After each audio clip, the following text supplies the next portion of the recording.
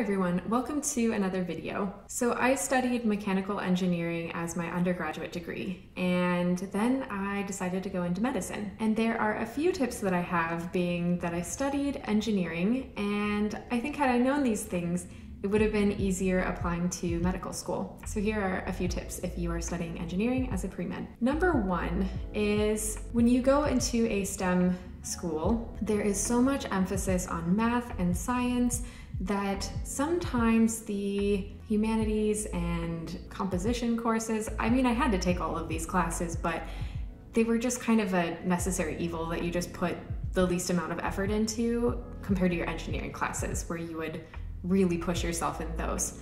But little did I know that writing is super critical when you are applying to medical school.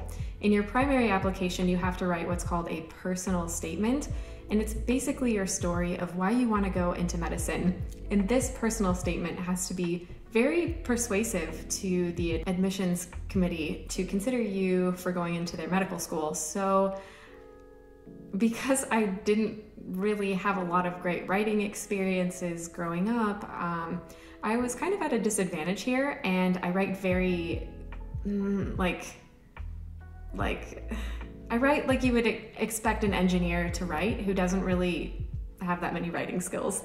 So if I were studying engineering and knew I was going to be a pre-med, the first thing that I would do starting out is to go out of my way to develop reading and writing skills. So I think they kind of go hand in hand. My next tip as an engineering pre-med is to learn how to sell yourself.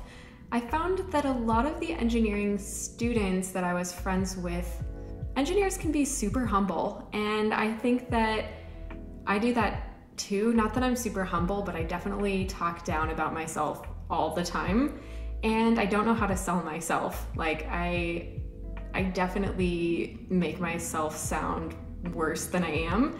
And I think if you are studying engineering and going into medicine, learn how to sell yourself, learn how to really make your experiences sound great. And for instance, I'll give you an example. I had two research experiences over two summers while I was in college, and they were research positions. And I didn't even sell them hardly as research.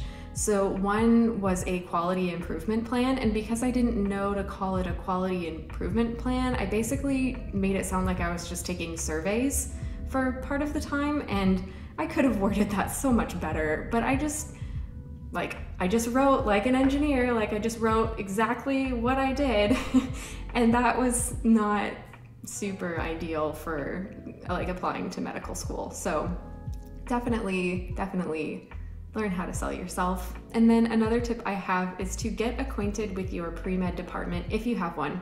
I didn't really have a pre-med department when I was first in college. Um, and I just didn't really know a whole lot about the pre-med department at my school I would, as it was kind of developing and uh, evolving. So anyway, what I would suggest is to get acquainted with them and get their help in planning your schedule because engineering classes are very demanding, particularly due to the amount of um, homework.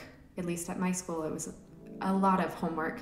So, getting help like planning and scheduling out your classes can be very helpful so that you're not too completely overwhelmed one semester versus the next.